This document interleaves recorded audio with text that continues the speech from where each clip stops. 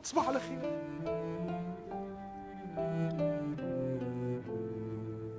ليش زعلان مني ابني؟ ها؟ يلا قل لي ليش زعلان من بابا حبيبي؟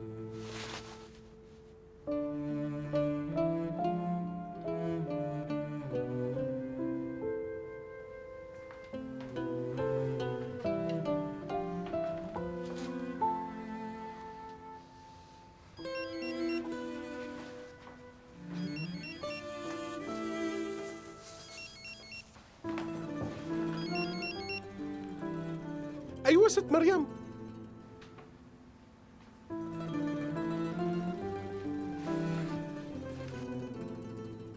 يا حبيب ماما انت.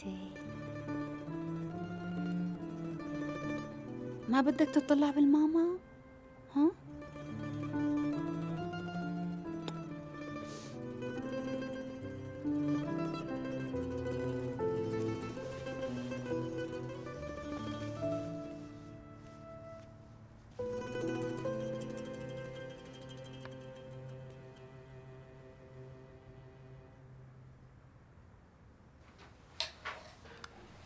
ما في شيء.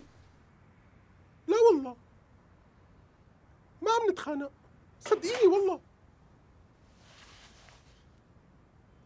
من وقت ما اجيت ما حكينا. أصلا ما طلعت بوشها ابدا. قلت الأحسن ما نحكي قدامه لمراد. مراد هلأ نام. أكيد رح نحكي. على أساس ضل شي ينحكى لا مراد ما عم يحكي معنا. بنشوف. إيه ماشي. وانت من أهله أهلين. برافو عليك. عطيت تقريرك تمام.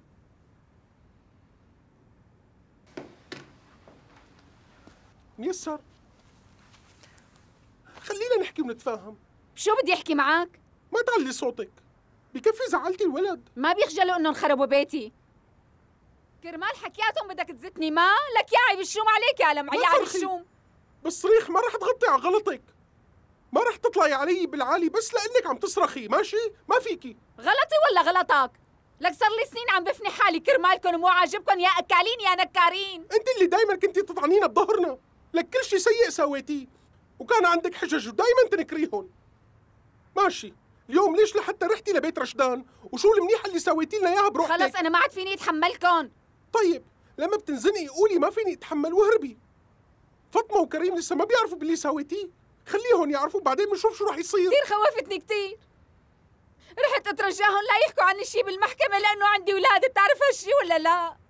ماشي ميسر ماشي. لا تحكي لي. ما بدي اسمع ما بدي اسمع كل هالكذب.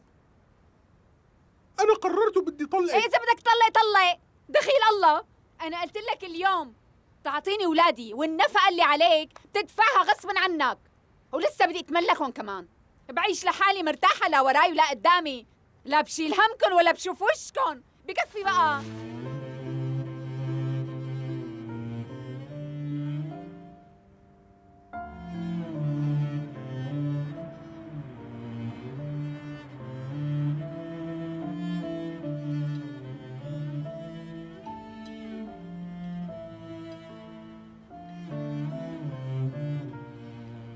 حبيبتي كيلي أكلك برد. آخ يا نزير ليش تركولي نفس آكل؟ مو حكيتيهم ليكن هديوا على الأغلب يا نزير لمعي ما حكى شي مشان ما يضايقني. الله أعلم بتكون قامت القيامة هنيك هلا. إذا صار شي كله رح يطلع براسه لمراد الولد سمع كل شي. بيفهم ماله صغير. أكيد رح يلاقوا طريقة ليحكوا الحقيقة لأنه ما بقى في مجال. إذا إجا لمعي لعندك مشان ياخد رأيك بموضوع الطلاق ما تعطيه وش بنوب؟ أنت لا تقلقي أصلا أنا ناوي بكرة أحكي معهم اثنيناتهم سوا. إيه كتير منيح. عمر. أيوة عمر وأنا كنت عم بستنى خبر منك. شو صار؟ مبروك إلنا أخي. ما طلعوا لسليم رشدان. عن جد؟ اعتقلوه لسليم. نشكر الله. والبقية؟ تركوني روحوا. يلا منيح ما تركوه لسليم على الأقل. ما رح يقولوا المتهم هربان ويأجلوا المحاكمة. يلا مبروك إلنا كلياتنا. مبروك. طيب شو بدنا نساوي؟ الله يقدم اللي فيه الخير. بتشكرك. تسلم. الله معك. خبر مو منيح؟ ليلى خانم باعت البيت.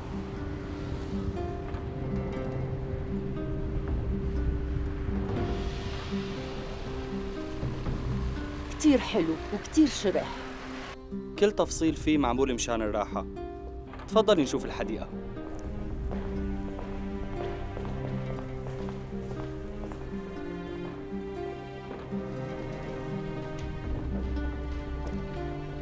تفضلي.